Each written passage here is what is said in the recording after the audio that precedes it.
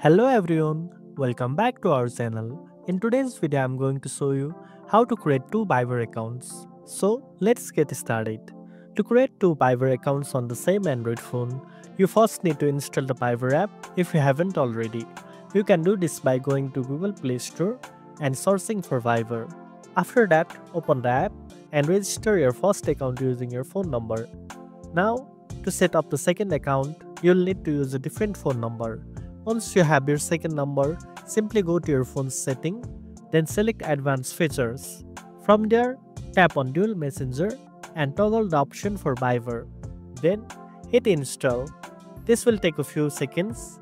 Once done, you can sign up with the second number. You can easily switch between both accounts without any hassle. And that's it. Now you know how to create two Viber account on your Android phone. If you found this video helpful, don't forget to like, share and subscribe for more tech tips. Thanks for watching and I'll see you in the next one.